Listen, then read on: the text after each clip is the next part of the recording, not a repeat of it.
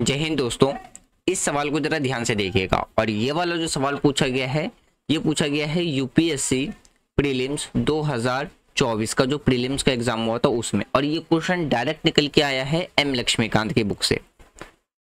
M Laxmikant की book को अगर आप फॉलो कर रहे हैं तो उसका जो फ़र्स्ट पार्ट है फ़र्स्ट पार्ट के ही चैप्टर टेन से पूछा गया है, जिसमें जो कि किस बारे में बात करता है कॉन्स्टिट्यूशन अमेंडमेंट के बारे में बात करता है। तो आपको क्वेश्चन में ये पूछा गया था कि भारतीय संविधान के अनुसार जो अनुच्छेद 368 है तो संसद निम्नलिखित में से किनके द्वारा संविधान के किसी उपबंधन में संशोधन कर सकती है? यहाँ पे पहला था जैसे परिवर्धन, दूसरा था परिवर्तन और तीसरा था निरसन। इनमें से आपको सही विकल्प चुनने थे, जैसे ऑप्शन ए था केवल एक और दो ऑप्शन बी था, केवल दो और तीन ऑप्शन सी था, केवल एक और तीन, और ऑप्शन डी था, एक, दो, तीन। यही क्वेश्चन हम इंग्लिश मीडियम में भी देख लेते हैं। देखिए अकॉर्डिंग टू आर्टिकल 368 या एज पर article 368 of the constitution of India the parliament में amend any provision of the constitution by way of पहला था एडिशन दूसरा था वेरिएशन और तीसरा था रिपील तो इनमें से आपको करेक्ट कोड क्या करना था? चुनना था, यानी कि जो दिए गए हैं। ऑप्शन ए था one and two option B था two and three option C था वन एंड थ्री और ऑप्शन डी था वन टू थ्री तो इसका जो राइट right आंसर आपको मिलेगा, वो मिलेगा आपको ऑप्शन डी यानी कि तीनों के तीनों ही क्या है? हमारे कोड सही थे। अब थोड़े से बात कर लेते हैं कॉन्स्टिट्यूशन आर्टिकल 368 के बारे में नेक्स्ट स्लाइड में। देखिए, अगर हम कॉन्स्टिट्यूशन आर्टिकल 368 के बारे में बात करते हैं एक मिनट हाँ। इंडियन कॉन्स्टिट्यूशन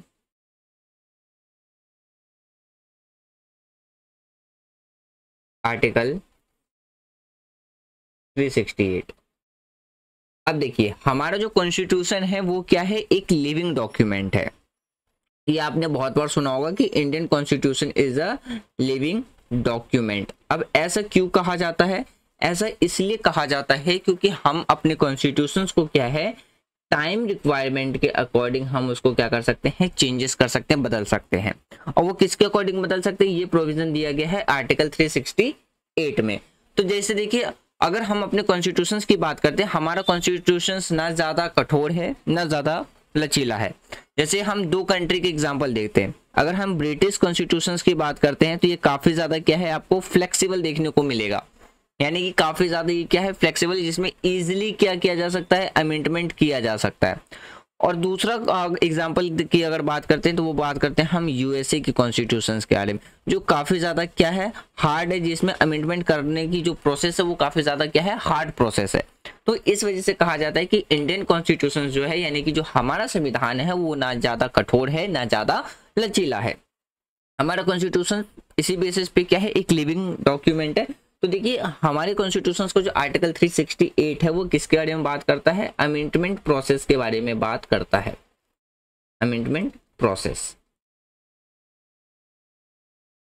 तो जिसमें कि अगर हम अमेंडमेंट प्रोसेस की बात करते हैं, जिसमें चाहिए हमें special majority in parliament special majority in parliament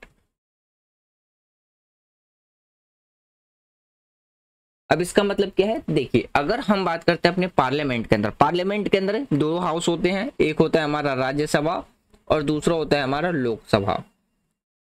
तो हमारे पार्लियामेंट के अंदर जो स्पेशल मेजोरिटी चाहिए, वो दोनों हाउसेस में चाहिए होती है, यानी कि इसमें दो तिहाई से कम वोट नहीं चाहिए। Not less than two third not less than two third जब हम मेजोरिटी की बात करते हैं not less than two third का मतलब है, इसमें जितने मेंबर जो हैं प्रेजेंट हैं और जो वोटिंग दे रहे हैं। तो उसके क्या है, हमें दो तिहाई बहुमत चाहिए होता है कॉन्स्टिट्यूशन में अमेंडमेंट करने के लिए। फिर देखिए, एक होता है certain amendment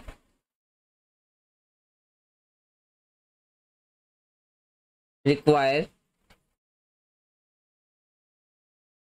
state ratification ratification अब इसका क्या मतलब होता है? कुछ अमेंडमेंट ऐसे होते हैं जिसमें हमें क्या है? स्टेट की भी रेटिफिकेशन की ज़रूरत पड़ती है। तो अगर हम स्टेट रेटिफिकेशन की बात करते हैं तो इसमें भी क्या है? हमें हाफ़ यानी कि आधे से ज़्यादा एटलीस्ट आधे स्टेट लेजिस्लेटिव की हमें क्या चाहिए होती है? परमिशन चाहिए होती है। आधे से ज़्यादा एटलीस्ट हाफ़ स्टेट की क्या चाहिए होती है? लेजिस्लेचर की हमें परमिशन की रिक्वायरमेंट होती है। जब अगर हम बात करते हैं इसको और भी ज़्यादा इफ़ेक्टिव जो हमारा फेडरल स्ट्रक्चर्स है और डिस्ट्रीब्यूशन ऑफ़ पावर है स्टेट और यूनियन के बीच में। एक चीज़ और याद रखिएगा इसमें। अगर हम बात करते हैं लिमिटेशन के बारे में लिमिटेशन एंड जुडिशियल रिव्यू अब एक चीज़ ये याद रखिएगा, जब हम अपने कॉन्स्टिट्यूशन में अमेंडमेंट की बात करते हैं तो अमेंडमेंट लाया जा सकता है सिर्फ़ और सिर्फ़ पार्लियामेंट के अंदर में। पार्लियामेंट के किसी भी हाउस में लाया जा सकता है अमेंडमेंट के लिए, चाहे वो रोज यानी कि राज्यसभा हो या लोकसभा हो। अगर कॉन्स्टिट्यूशन में अमेंडमेंट लाना है तो दोनों में से किसी भी हाउसेस में अमेंडमेंट के रिगार्डिंग में बिल रखा जा सकता है बट ये स्टेट लेजिस्लेचर्स के द्वारा अमेंडमेंट नहीं किया जा सकता है। ये क्वेश्चन आप हमेशा मतलब ये पॉइंट याद रखिएगा कि स्टेट लेजिस्लेचर्स के द्वारा कॉन्स्टिट्यूशन में अमेंडमेंट नहीं किया जा सकता है। ये पावर सिर्फ़ और सिर्फ़ आपको किसके पास देखने को मिलेगा? पार्लियामेंट के पास देखने को मिलेगा। तो देखिए, पार्लियामेंट कॉन्स्टिट्यूशन में अमेंडमेंट तो कर सकते हैं, लेकिन 1973 में सुप्रीम कोर्ट ने केसवानंद भारती केस के तहत ये बात कही थी कि पार्लियामेंट कॉन्स्टिट्यूशन के बेसिक स्ट्रक्चर को चेंज नहीं कर सकती है। और सुप्रीम कोर्ट बेसिक स्ट्रक्चर क्या होगा कॉन्स्टिट्यूशन का? वो केस टू केस क्या करेगी? अमेंडमेंट टू अमेंडमेंट डिसाइड करेगी कि क्या ये कॉन्स्टिट्यूशन का बेसिक स्ट्रक्चर है या बेसिक स्ट्रक्चर नहीं है। अब देखिए आर्टिकल 368 में एक और भी चीज़ें रखी गई जैसे हम अगर टाइप्स ऑफ़ अमेंडमेंट की बात करते हो तो उसमें थ्री टाइप्स के अमेंडमेंट रखे गए three types of amendment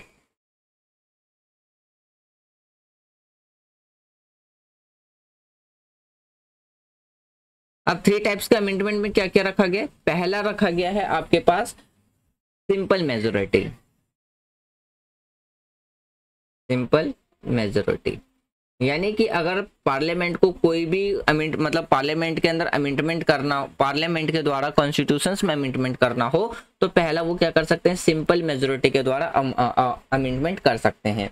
example के दौर पे आप देख सकते हैं, जो हमारे कॉन्स्टिट्यूशन के अंदर सेकेंड शेड्यूल है। सेकेंड शेड्यूल किसके बारे में बात करता है? और जैसे सैलरी अलाउंसेस के बारे में बात करता है तो उसमें अगर पार्लियामेंट चेंज करना चाहे तो वो सिंपल मेजोरिटी के द्वारा चेंज कर सकती है। दूसरा आता है हमारे पास special majority of parliament special majority of parliament अब इसका मतलब क्या है? देखिए कुछ प्रोविंस ऐसे हैं जिसमें पार्लियामेंट को पार्लियामेंट अगर कॉन्स्टिट्यूशन में अमेंडमेंट करना चाहती है तो उसके लिए उन्हें क्या करना, किसकी कितनी रिक्वायरमेंट की ज़रूरत होगी तो स्पेशल मेजोरिटी की रिक्वायरमेंट होती है, यानी कि उन्हें दो तिहाई से ज़्यादा बहुमत की ज़रूरत पड़ती है। फिर एक तीसरा जो हमारे पास आता है, वो आता है special majority and state ratification कुछ अमेंडमेंट ऐसे होते हैं हमारे कॉन्स्टिट्यूशन के अंदर में, जो कि जिसमें हमें पार्लियामेंट के अंदर एक तो स्पेशल मेजोरिटी भी चाहिए होता है और साथ के साथ एटलीस्ट हाल्फ स्टेट की परमिशन भी चाहिए होती है। तो ये तीन तरीके की अमेंडमेंट होते हैं जो कि हम अपने कॉन्स्टिट्यूशन के अंदर में मतलब तीन टाइप्स के अमेंडमेंट हैं जो हम अपने कॉन्स्टिट्यूशन के अंदर में कर सकते हैं। और ये सारी बात किसके अंदर रखी गई है? आर्टिकल 368 के अंदर में रखी गई है। तो ऐसे ही मोर इन्फॉर्मेटिव वीडियो के लिए आप हमारे चैनल को सब्सक्राइब करें। और यदि वीडियो पसंद आ रही है तो आप वीडियो को लाइक कर सकते हैं शेयर कर सकते हैं। और वीडियो के रिगार्डिंग आपको कोई भी सजेशन देना है कमेंट बॉक्स ओपन है, आप कमेंट बॉक्स में दे सकते हैं। Thanks for watching friend take care Jai Hind